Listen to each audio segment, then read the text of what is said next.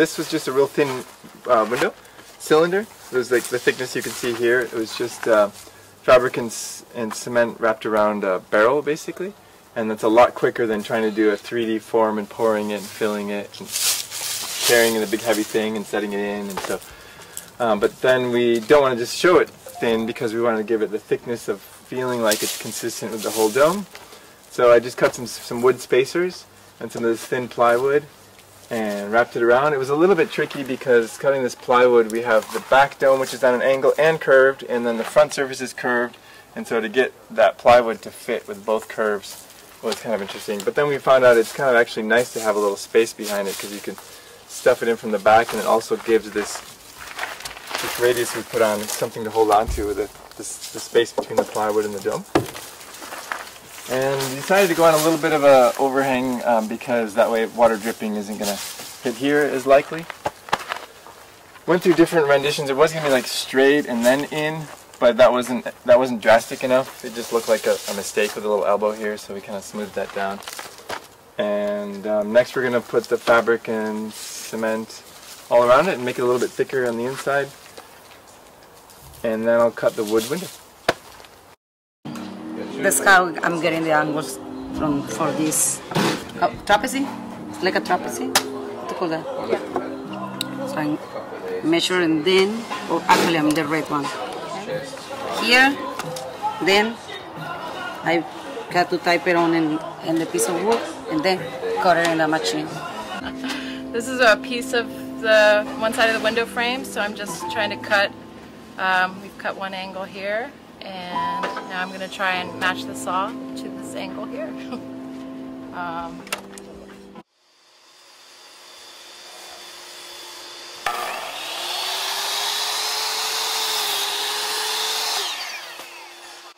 just to be really precise, like I can take a top measurement and a bottom measurement to see how on target that is.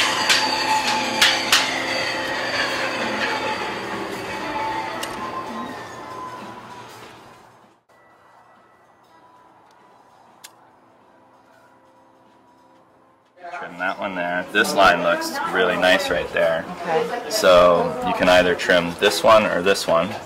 You know, G, right? which I would maybe do like this, and at this point we can kind of do like what Joseph was saying, Yeah. where if we lay this on like this, Mm-hmm. like because we want this to line up Yeah. with that obviously. So we find the angle that most closely resembles, which this angle seems better than this angle. See how this one kicks Yeah. it way that way? So if we come off of here, and then you trace that Uh-huh. that line right there, Yeah. does that make sense what I'm saying? So I put this on top to trace No, it? No? just the way it is right now. Just put your finger there and put your finger on F so it does not move. Yep. And then go ahead and trace. Oh, so we're going to cut F, not Yeah. G. Okay, got it. Okay. Unless you don't want to. No, that's fine. Just to nibble up to our line to make it a little tighter joint as we're making our way around the uh, elliptical octagon.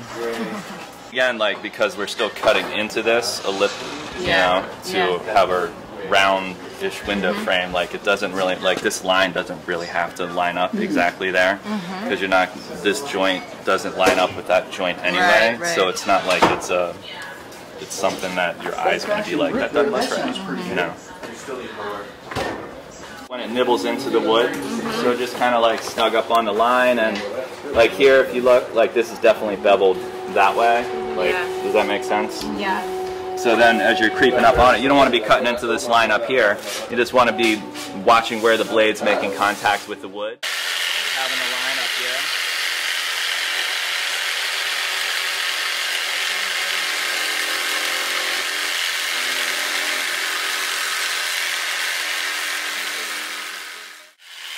This is where it's becoming more important to like really make sure you're perpendicular to your finished surface because like you don't want it to be like this because then Right, you're then you have undercutting it. It's like everything has its Yeah.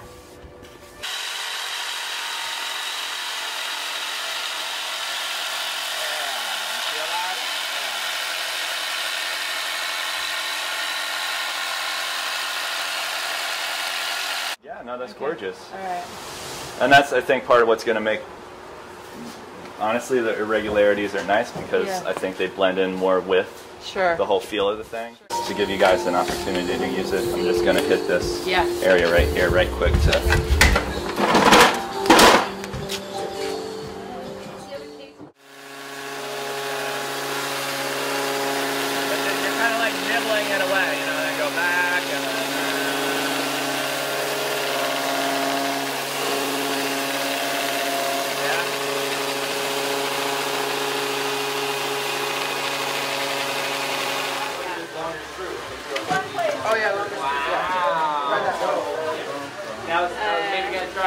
On the other side.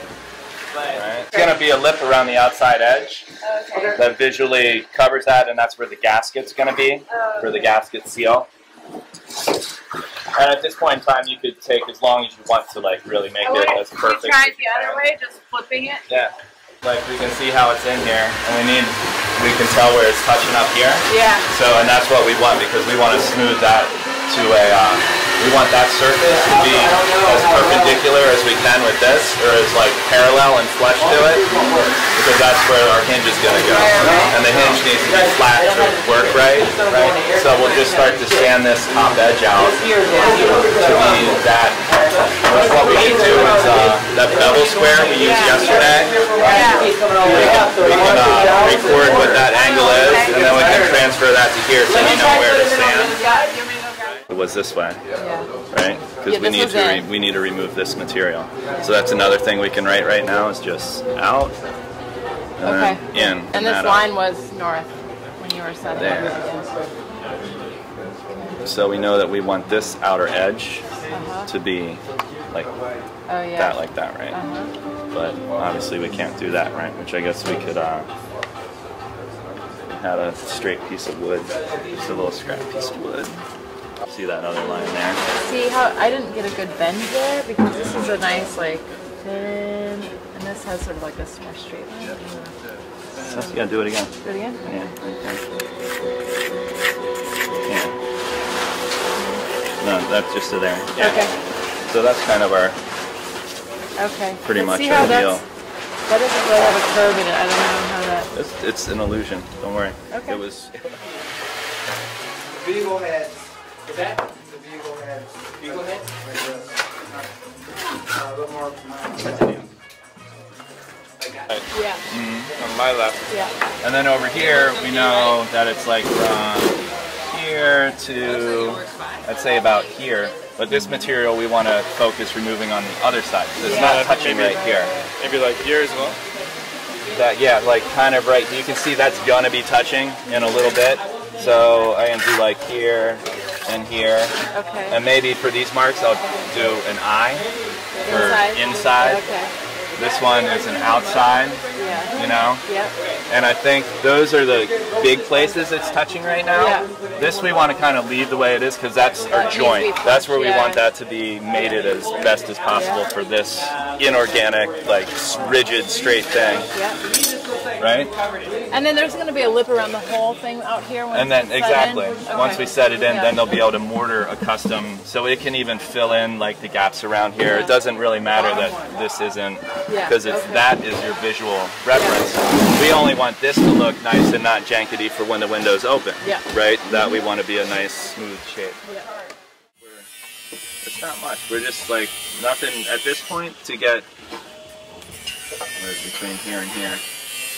Which this this is on this edge. We got to transfer the measurements over here and everything anyway. Yeah. That's why I was.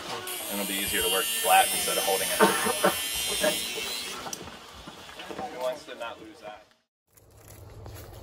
So part of the finishing of the round window is um, that they made this gasket lip here. You'll see it um, from the inside as well. But um, what they did was they wrapped the window in plastic and tape and then mounted it, um, installed this hinge and put it up in here. And then they took the stucco and they um, created this, pressed it hard into the window and made this gasket. And um, that made it perfect for the size. There's a little bit of cracking up in here, which we're, we're gonna have to um, redo um, a little bit more finishing. And then um, Joseph made this metal um, gasket right here for a screen. And the gasket will slide out, you wrap screen around it, you push it back in, and then you'll cut it with a razor blade or an X-Acto knife. Um, and that will still be removable, but it'll be, it's tight enough and it's sprung, so it's held in there um, by the um, tension of the metal. Okay, so once this was installed with the same dowel method that they talked about um, in with the closet, um, which is drilling a hole, putting a wood dowel up in there that's really tight fit, and then screwing the screws in to uh, install that. Then they were able to um, install this um, and this is all wrapped in plastic, plastic again. Um, so they put it in there, and then from the outside they create that gasket. Um, then it was taken out, and um, we first took all the plastic off of it. We um, polyurethaned the, all the wood and gave it to a glass guy who then um, cut the glass to be the size, obviously just a little bit larger because the design of the window is that you take out these screws and there's actually two pieces of wood here and they come apart and then the glass lays inside of it and then you screw it back down and you've got a solid, strong window. Um, the last piece of finishing for the window was to put silicone on the exterior of the window. So we sealed it um, like this um, to make sure that, you know, no uh, water gets in. Um, in addition, once we tried to put it back in there, um, it was it was too tight. It wouldn't actually, you couldn't actually push it in. Um, so I went ahead and um, just gently used a chisel and a hammer and just chiseled away. I would hold this up like this and then I would see where it was holding because it was you couldn't see the light there and I would just mark it and then take it down and then just chisel it until I got just the, the perfect fit. You know, we smoothed it out. It had some holes in here that we filled and smoothed it out a little bit.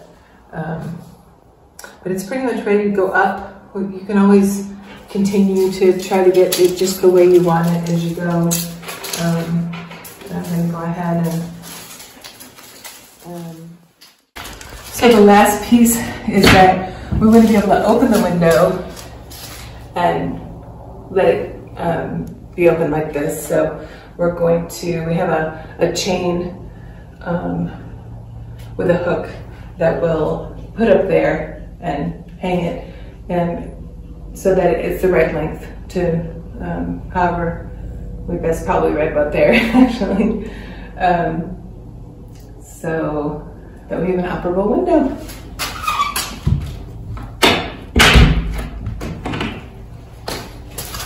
Voila Come on.